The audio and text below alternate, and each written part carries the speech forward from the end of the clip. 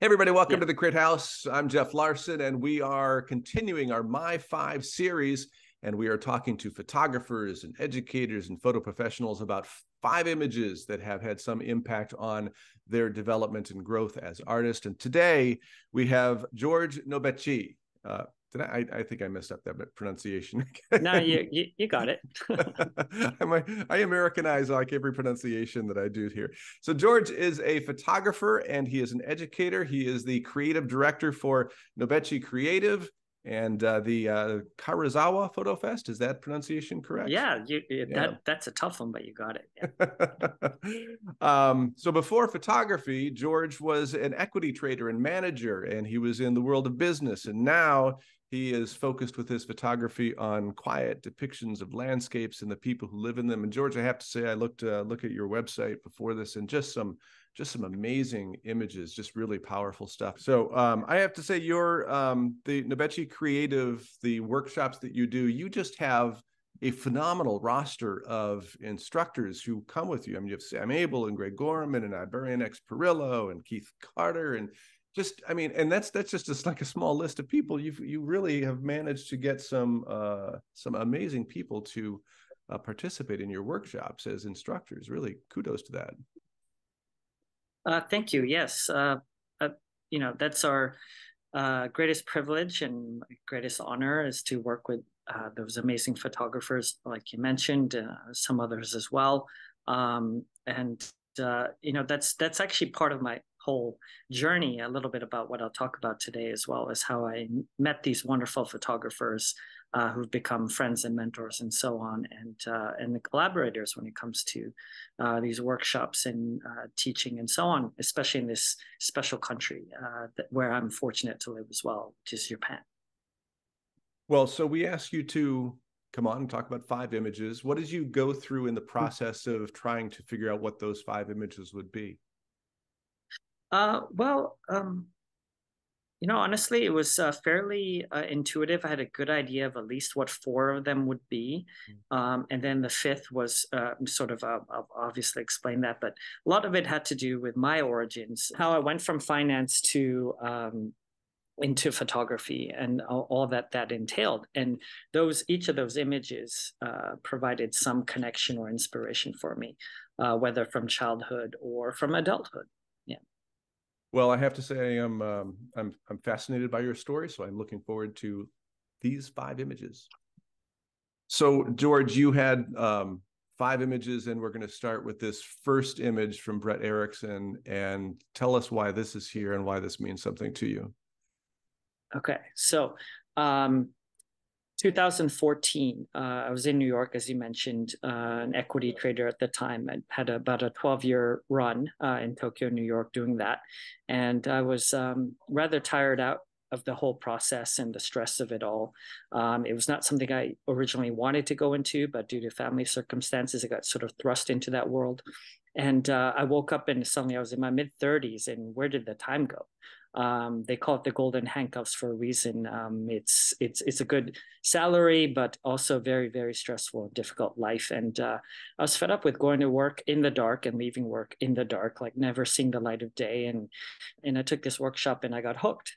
And uh, asked the instructor, his name was Alan Winslow, uh, where can I go uh, to learn a little bit more. And he suggested, well, you could either go to Maine Media Workshops or the Santa Fe Photographic Workshops. And I thought about that and said, well, I've been to Maine before, like Bar Harbor and Acadia and all that, but I've never been to Santa Fe. I wonder what's out there. So I go and I hop on the website, um, you know, summer 2014, and I look and I see this image of two wild horses uh, running across the Great Plains um, towards the storm. And I just thought, oh, well, uh, that's something that's of interest to me. Um, my background, I grew up in Tokyo. I was born in Tokyo, uh, Canadian father, Japanese mother. Um, I'd always loved my favorite series of books uh, as a kid, or English language books anyway, was uh, The Black Stallion by uh, Walter Farley. Mm-hmm. And uh, I read all the books. I have, I still have most of them. And uh, you know, I, I always wanted to be Alec Ramsey and be, you know, marooned on a desert island with a with a horse and all of that. Well, we moved to Canada when I was 11, uh, to Alberta, of course. So it was horse country. And uh, first thing I wanted to do was get a horse. And my dad said, Well, how about before we get you a horse, you take some riding lessons first and see if you really like it because it's kind of expensive. And uh, you know, naive eleven year old, yeah, I go and uh, I, I get riding lessons. Turns out I'm really allergic to horses. Oh no! so there went that dream, right? Uh, but I'd carry that with me, like just wanting to be free like that. And I think it was very symbolic of what I what I had been experiencing about wanting to break free from uh, the world of finance and everything. And I saw the this image, and I just thought, wow, that's that's everything I want to learn. It's also black and white. I know nothing about it. Uh, I want to be free like that. And so, what did I do? I mean, that class was starting like I think a day later or something. But oh. I called them up. They had one spot left, so I hopped on the plane out to Albuquerque, then drove up to Santa Fe, and I joined the class just in time. And uh, there, I met my first, uh, you know, mentor, uh, Brett Erickson, and who happened to be, um, uh, you know, a, a, an ardent student of uh, Sam Abell's work. And so sort of one thing led to another, but at the end of the workshop, Brett directed me to Sam's work and said, you need to take his workshop next because I think you'd really click.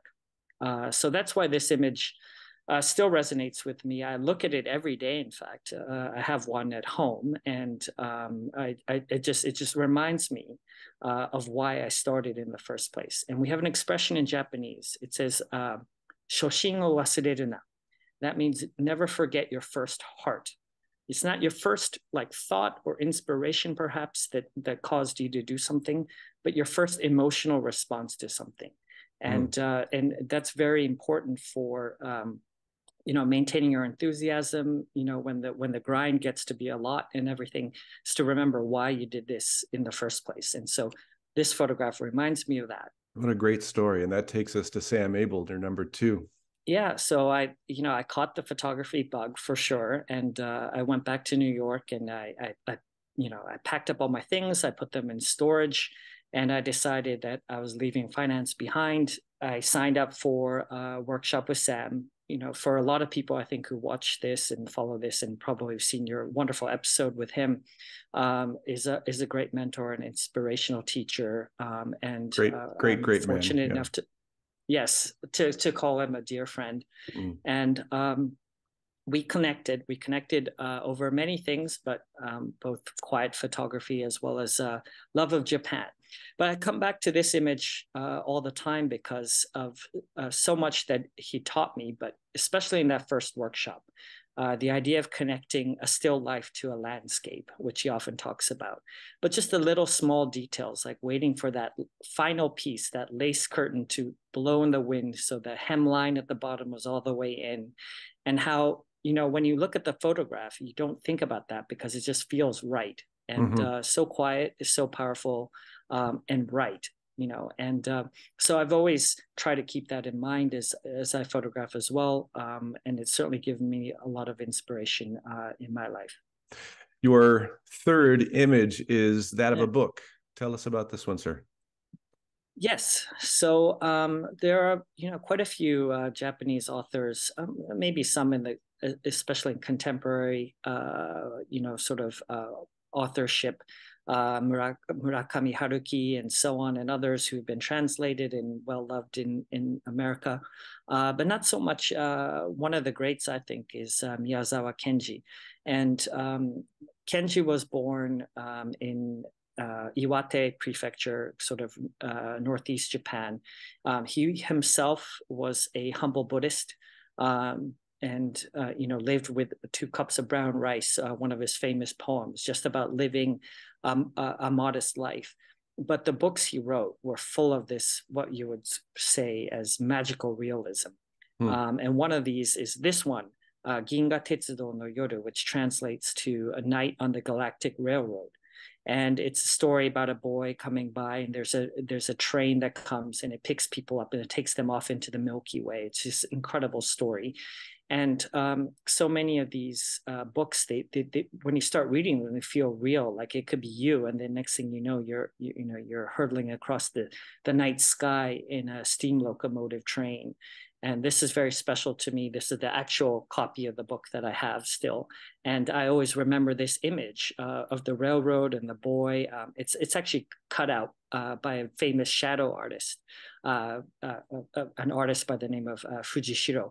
But um, just the image, the sort of imagination also of being, you know, out in the railroad and out in space and so on. And that's inspired so much of my work is finding where are those places in the world? Where are those places in japan that that i'd imagined from these children's novels? And so it sprung a whole body of work of mine um, and it inspired the series that was my second uh, top 50 series was all about trying to find these places in the world and not manipulated, mm. not set up. It doesn't need to be steam locomotives, but what could I find in the contemporary world that was that I feel inspired and resembles uh, that which Miyazawa uh, wrote about and uh, and so on. So that's why this one is here.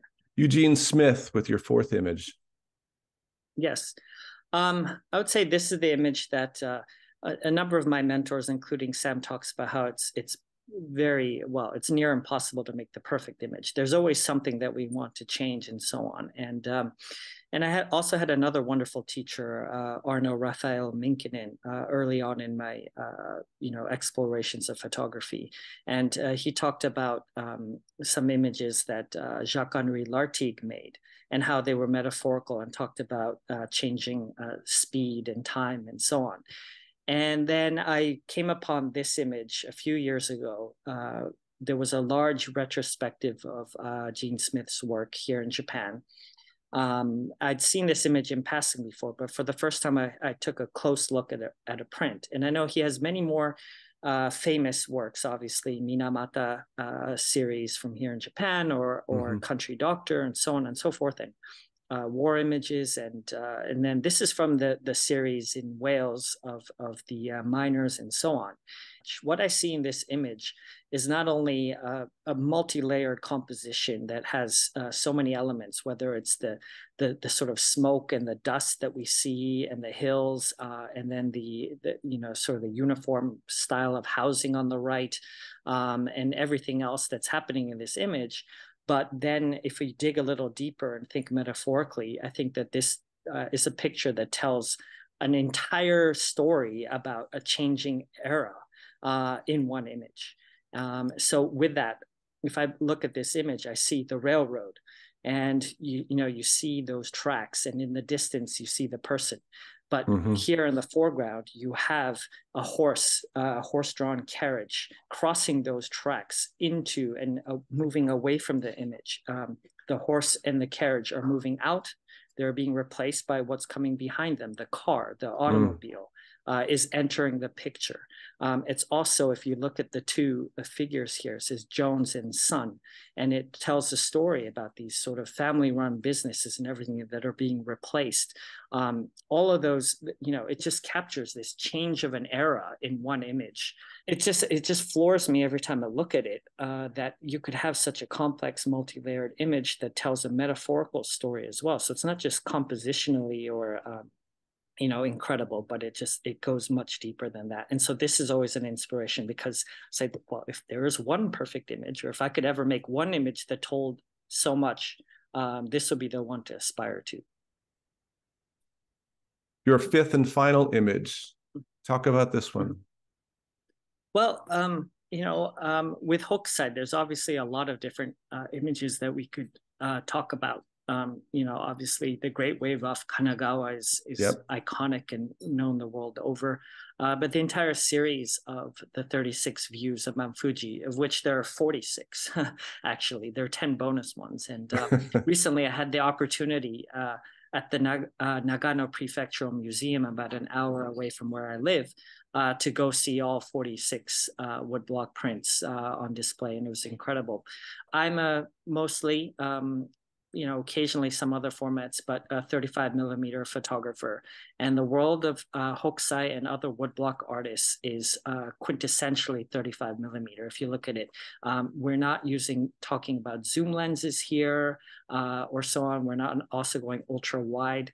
Um, everything feels just so in a ratio of three to two, uh, full frame, um, and then layered. And it begins with a back layer. Sam Abell that we you know we talked about him. He always talks about the back layer. Hokusai is always the back layer, right? Uh, Mount Fuji is the back layer always. It, it is um, you know the the uniting factor, uh, but it is not the main and only thing. Uh, everything else is layered from the back through, and um, through throughout the time of my photographs, I always like to take a step back and observe those who are observing that you know the, the main subject and so on. And so this this platform image has always stuck with me for a long time. The fact that he he, did step back and you know the, the people are in various different states. There's a baby you know holding onto a mother. There's there's a younger uh, younger man uh, like hanging off the railing. There are some people who have receding hairlines and so on and we get to see all of that. I mean uh, it's real life. It's everyday life and yet everybody is there uh, sort of enjoying the view. And it's just an absolutely classic image George, this is just such a fascinating conversation. It's such a pleasure to meet you and talk to you and um, hear about not only your images, but how those images brought you to where you are. I'm so thank you so much for joining us here on the Crit House. Thank you very much for having me. It's a great honor to be uh, on the program with uh, so many people that I, I love and admire and uh, so I'm, I'm, very happy to be but a little chapter to to your series uh, for which I commend you on. I think it's a terrific uh, series. I've enjoyed watching a few of them, and I and I look forward to when I get back home uh, from rural Japan uh, to watching a few more. So thank you very much. Well, it's been an honor for me to be able to talk to not only you, but to all the other people who have appeared on the Crit House. And now I have become a huge fan of, of yours as well.